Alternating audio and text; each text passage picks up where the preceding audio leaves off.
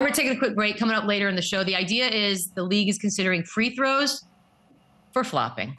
Good idea or not? But before that, Jock Landale, Phoenix Sun Center, is standing by. Yes, we're going to get the scoop on everything. We want to hear what he thought about this game seven. And, well, former Spurs are always welcome here. When Run It Back returns. Run it back, run it up, run it back.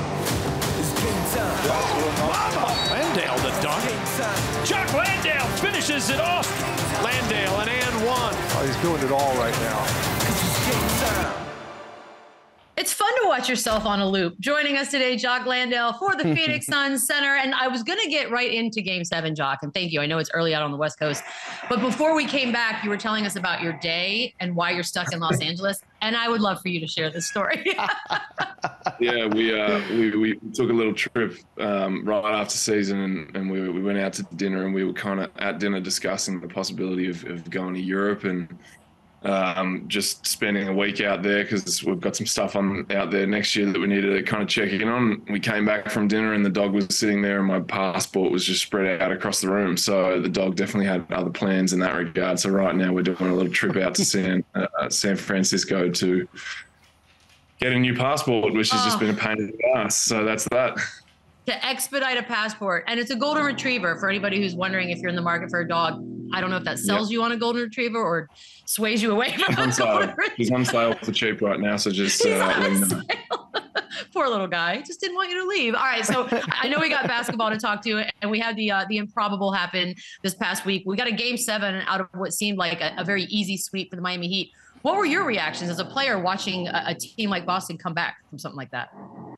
I mean, it, like when they when they came out and said, "Don't let us get one," I, I really like believe that because momentum, as you know, in the NBA is, is a crazy thing. And, and once a team gets going, just like Miami had it going in the first three, it's it's really hard to slow them down and stop them. So I felt watching watching that series unfold that Boston did a great job of kind of getting the momentum swing back on their side, and I I thought that it was going to be tough to um, to slow them down. But every win that they had, I was you know, it was without Gabe Vincent, who was a huge piece of the puzzle for them. And then, you know, Jimmy had a couple off nights, Bam had a couple off nights, and, and their role players kept kind of ticking along. So I felt as though the whole time, if they could just get their the whole thing to kind of click and come together, then then that fourth win was going to be a no brainer. And it took them until game seven, but you know, I, I, feel I really feel as though their their bench and their role players stepped up in a huge way, and um,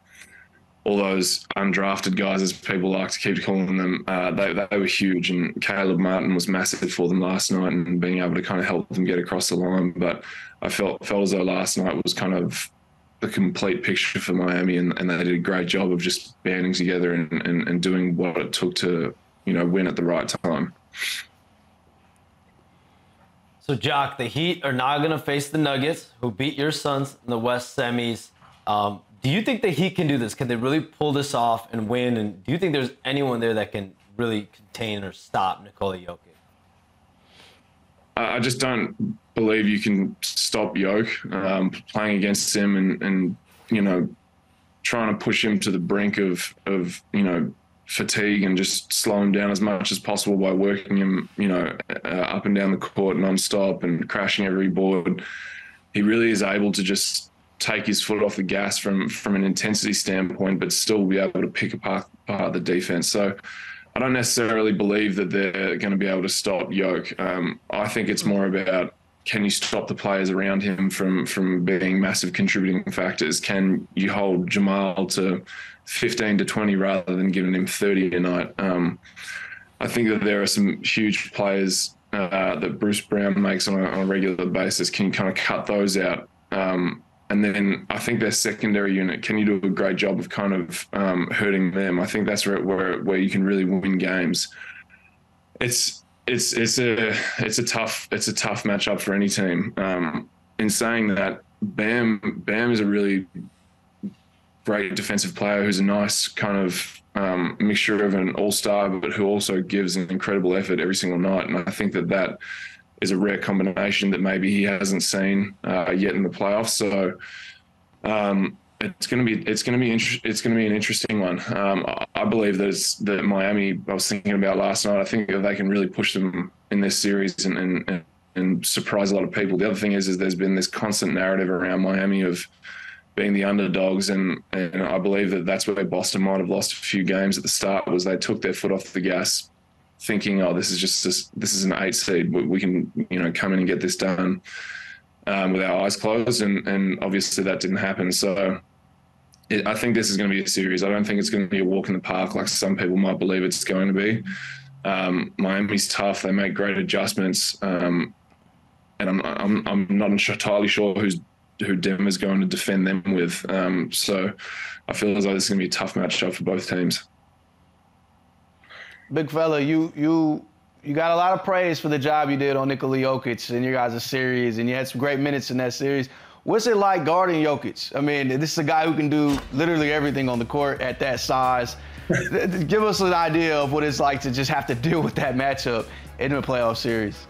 It's tough, man. It is really tough. Um, I have I have a few plays in the back of my head where you know I defend him as well as I can, and he just has this feathery touch, which is damn near impossible to stop. So um, I wasn't really too concerned with with whether or not he had 53 on a given night or if I held him to you know 20, 17, and 18. And, and, it was funny. And in that series, some people were saying, oh, you know, I got the best of him on any given night. And then I look at the, the box score and guys got 27, 18, and 16. It's like, well, it's kind of tough to see it that way from my position. But my whole mindset was just like slow him down as much as possible by by giving a by giving a great effort every single possession and just working myself to exhaustion because I kind of know where my limit will be, but seeing if I can bring him to that just a little bit quicker, given the minute you know uh, discrepancy and everything that we, we, were playing. So I knew that I was going to get 20 to 25 minutes um, in in games three and four, and then I was going to just take it from there, but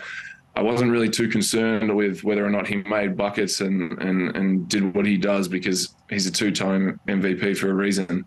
All I was concerned with was crash the glass every single time and just kind of run through run through him as much as possible and then up and down the court as, as much as possible. And then on top of that, it was like, you know, making sure that I wasn't doing, you know, the NBA thing where you just kind of walk into a non ball. It was sprint down to the baseline, make him touch the baseline with me, and then come flying back up and into an on ball at half court. And I was just trying to really wear him down as much as possible so that, you know, we could, I, I never thought we were going to stop him on the offensive end, but could we get more production out of our guys offensively uh, with him being tired on the defensive end? So, that's where my, my mind was at the whole time. Um, I had the luxury of kind of sitting back and watching those games one and two unfold um, courtside. So uh, it was, I feel, I felt as though I had like a good idea of what I had to do. So yeah. Yeah, Jock, keeping it with the big fellas, uh, DeAndre Ayton, he's got a lot of criticism all season long, especially in the postseason. And, and you defended him. You said, you know, I'm, I'm tired of people shitting on him, basically. Uh, what uh what what did his critics not see that you as his teammate as his boy see every single day in the facility in the locker room?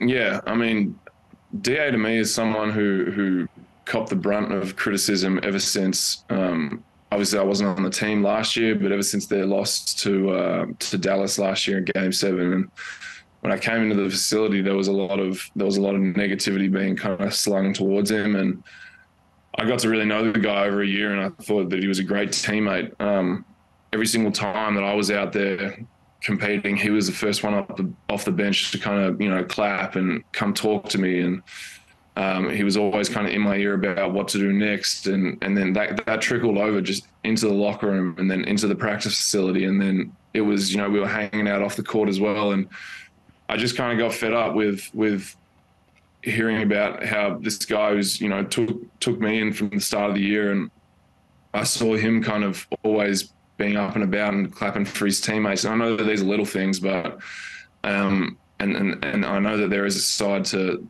you know we're basketball players and we need to perform on the court, but there was just so much more that he was he was doing well that people weren't necessarily recognizing. And me being from Australia, me being from a culture that kind of you know claps and emphasizes um, you know the teammate aspect of everything. I thought that that was something that was being overlooked completely.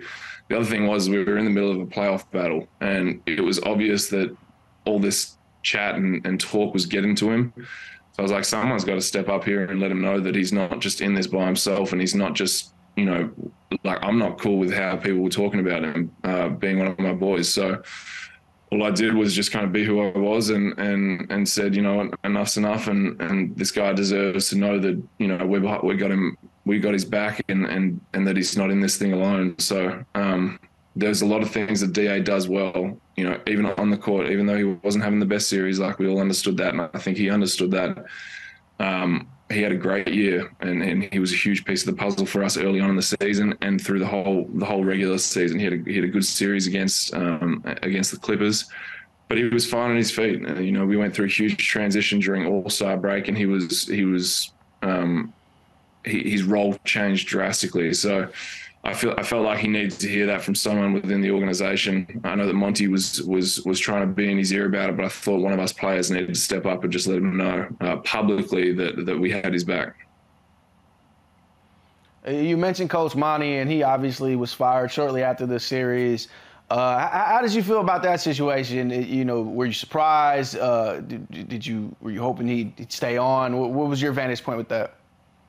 Yeah, I mean, I, I love playing for Monty. Um, you know, those decisions are obviously well out of my control, but um, yeah, I, I, really enjoyed playing for Monty. I, I, he, I mean, he gave me my first real NBA opportunity ever, and I'm I'm going to be forever grateful for that. Um, someone that that I thought did a really good job within his role of, of kind of managing our team and, and and helping us through the season despite you know there was despite all the criticism that was around us despite all the changes that we went through um, roster and organization base um, I, I, thought Monty did a, did a hell of a job. So um, you know I, I, can't really speak on the, the, the decision that was made because that's well above my pay grade and all I can say is that like I'm, I'm, I'm very appreciative of what Monty did for me and and you know enjoyed my time with him throughout the year and, and kind of navigating a pretty rough terrain for the most part. Jock, what type of coach do you think would be best suited for you guys moving forward? What characteristics would you look at? Yeah, I think that uh, I think that a coach that can really manage our, our locker room is is huge and necessary. And I think that someone who can kind of piece together a championship winning team who's probably, you know, done it in the past um, would be would be great for us because at this point it really feels as though the, the Phoenix Suns is you know, we're going for it all and, and we need to get across the line at some point. So I think that the only question that really needs to be asked is who's best suited to be able to help us do that. And I mean that's where I sit it on on that fact on that matter is is you know we need to win a championship. We, we all want to win a championship. We're here to win a championship. So how can we how can we best you know pick a head coach to help us do that? Um, obviously, there's there, there's I think there's three names on the on the card right now. I am not entirely sure, but um, yeah, I think that I think that there's some great options there for us um, in, in going forward, and, and we've got to wait and see what happens. uh, you and your former teammate Mikal Bridges uh, have a hilarious, very interesting uh, relationship online. Uh, have one of you posted anything that you thought might have crossed the line at all, or is this all in good fun? No, never. I, th- I think I think people really uh, look. I need to take it a step further from where I sit. I need to really start outing some of his his personal life and and, yes. and just letting him know to cool it a little bit. Um, yeah, no, I think that some of the some of the uh, some of the people on Twitter took that last one a little bit to heart and uh, really start. Even some of the Phoenix Suns fans, I had to text them after. I was like, man, I don't even think I can go at you anymore because these Phoenix Suns fans, even when you're gone, they jump on your side instead of mine. So uh, I think Mikal's a little bit of a protected species, and I've got to I've got to cool it just a little bit, just a little bit. Yeah, there's no font in Twitter for sarcasm. Unfortunately, people still don't get it after how many years the thing's been out there. But um, obviously, I'm going to ask about Pop rookie season, San Antonio under Popovich. Um, did what did you learn? Are there any stories you can share?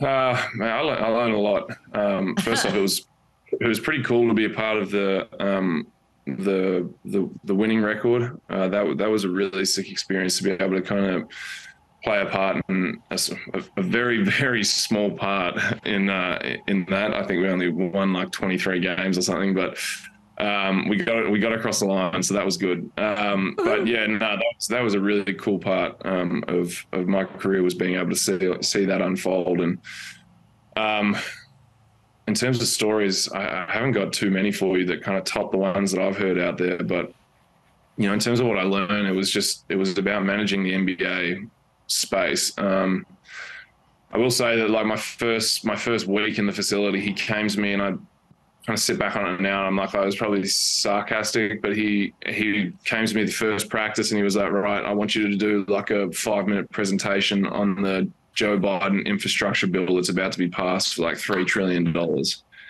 And I was like, is this, is this guy serious? Like, I don't even know if he's serious. So I went home and like in my notebook, like writing down this full speech about it. And I was like, all right, I'm ready to go. And then like a week passed. I didn't say anything. A week passed and I was like, Pop, like I got this speech written down. Like I put some serious time into this. You want me to make this speech? What's going on? And he was like, "Oh, I was being sarcastic, but now that you now that I know that, you are for sure telling us about this." So had to get up in front of the whole group and like read it out of this notepad, and I was just like, "God damn!" Like I definitely could have dodged that. But yes, um, this is awesome. Yeah, that, that was that was a good pop one. Uh, but yeah, he he just he taught me a lot about the perspective on on on life outside of basketball and, and making sure that you know we don't just get too obsessed and too involved in this and, and have some perspective on the world going on around us. And I think you see that day in and day out with his with his efforts outside uh, in the community and what he's kind of doing for America right now. I was about to say Texas, but he's really doing a lot for America. So um, yeah, he's he's a pretty incredible man, and to be doing what he's doing now, and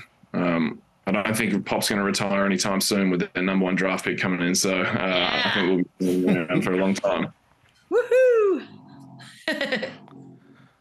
Jock, you really established yourself as an NBA player this year, of course, as, whether it's starting, coming off the bench. Um, I think you've proven that. But now you look into it, you're going to be a restricted free agent this offseason. Are you hoping to go back to the Suns? What's your outlook when you go into free agency this summer as a guy that's going to be sought after? Yeah, um, I would I would love to go back to the Suns. We we really enjoyed the city. We really enjoyed the fan base, the organization, the basketball. Um, we we bought a house there because we loved it so much, and we we thought this could be a home for us long term. Um, I do understand, however, that it's that it's a business and and that you know um, there's a lot to go through and a few hoops to go through in terms of you know what what can take care of our family. So I'm not totally set on Phoenix and nothing else, but but I definitely want to return there. Um, had a phenomenal year there, and uh, we, we just enjoy the the culture and the lifestyle in Phoenix, and and then the organization's great. You know, the teammates there love playing with CP, Book, KD. Um, you know, th- these are all guys that I really enjoy playing with and would like to do so for a long time. But it's a business and at, at some point you know being 27 i really have to look at it as such and and make sure that i'm taken care of long term and going forward so um, yeah there's there's a lot to happen. It's exciting times but um, but yeah you know if, if we can figure out a way to get it done with phoenix i would i would love to stay there. Jock you went undrafted 2018 draft are you one of those guys who has the list in your head of all the big fellas who went drafted before you? Do you got like smoke for Mo Wagner every time you see him? Is that in there for you? no, I mean, I, I, don't even I don't even think I was undrafted. I tell everyone I was the 61st pick in the 2018 draft, so I don't even look at it like that. But um, yeah, I definitely I, I, wouldn't say I have a list as such. Uh, but I definitely have a little bit of chip on my shoulder, and I feel as though, given what I had to go through to get back into the NBA and all the hard days that I had to do out in Europe by myself and stuff, there's it, it really changed who I was as a person, and and and taught me to kind of never take my foot off the gas and and make sure that I'm always in the gym and there's and knowing that there's someone behind me who's always you know he's always trying to get out in front. So um, yeah, definitely, definitely not one of those guys who has a list, but there there are certain people that I look forward to playing and and making sure that you know I can prove a point against them because I know that that helps me long term. So, um, yeah, it's it was a long road to get here, and, and, and, I'm really pumped to be here, and you know have you know done a job this this this uh, this postseason to be able to solidify myself a little bit, but. Um, yeah, I attribute a lot of that to to kind of what I had to go through for those three years and two years in Europe and then year back home in Australia to to be able to get here and um, yeah, it's pretty cool to think about. Pretty cool to think about. Jock, we, we appreciate the time early in the morning, and I know you have a really fun day ahead of you to get your passport. Um, what do you call your haircut before we let you go? What do you call it? Sexy? I don't know. Nice. That's all I was looking for, Jock. That's all I was looking for. Thank you so much, so much. Uh, have a great off season. We'll see you next season, Shams. We'll see you tomorrow, so uh, don't go too far. And uh, when we come back, it's Chandler, it's Eddie, it's me. We're probably going to change your life when Run It Back returns. Run it back.